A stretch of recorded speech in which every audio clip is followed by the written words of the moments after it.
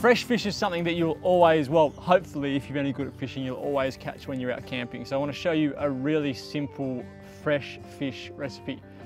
It, as you can see by the rest the ingredients in front of me, there's not really much required with this one, which I think is the best kind of camp, camp cooking, is when the recipes are simple, there's not a huge amount required, but the payoff with the flavour is always there. So I've got butter, capers, parsley, lemon and garlic. I'm gonna mix all those together to make a, almost a, a flavoured butter or a compound butter, but I'm not gonna mix them before I melt the butter. I'm gonna melt the butter and then mix everything together. Then you just fry off your um, fish pieces. I've got flathead, which is, I think, a fantastic fish just for frying simply. And then you, you pour that flavoured butter over the top. So a little bit of oil on your pan. Pop these on. I've just got a little cast iron uh, bowl here, which I'm gonna melt my butter in.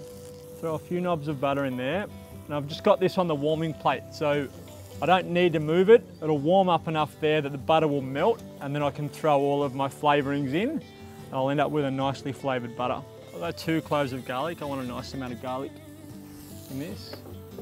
And don't worry about chopping it too fine. Chunky's okay.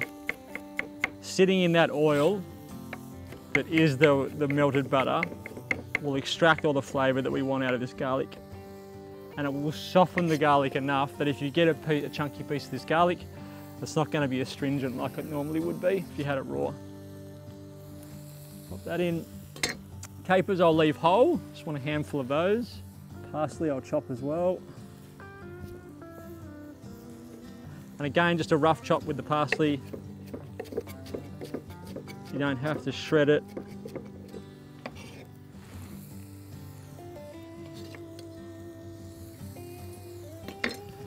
Lemon, I just want the zest and I might use some of the juice at the end, we'll see.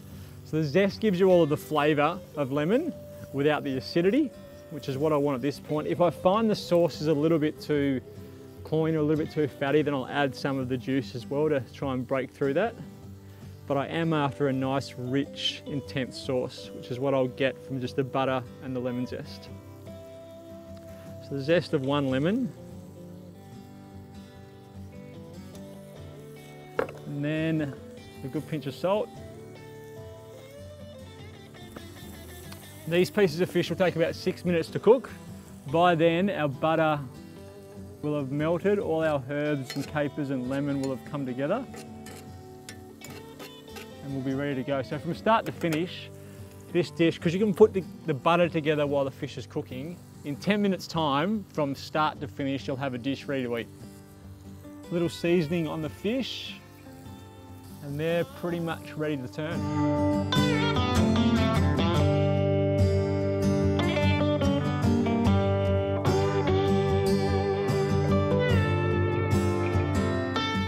Just want to add a little bit of lemon juice to that. Maybe just a cheek to start with.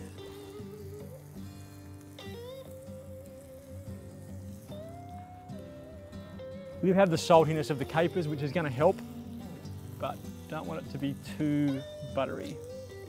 I reckon I'll need that other cheek. So one more cheek.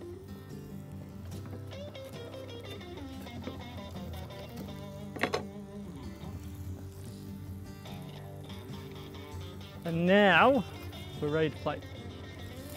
So fish can come off.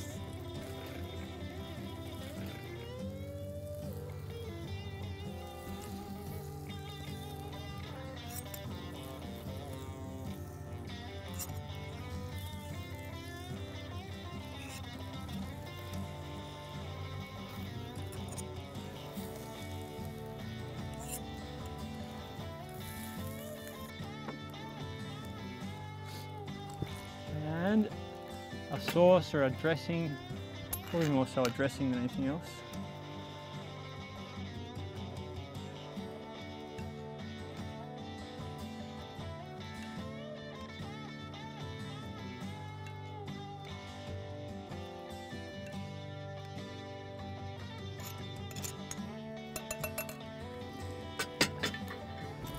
That's it.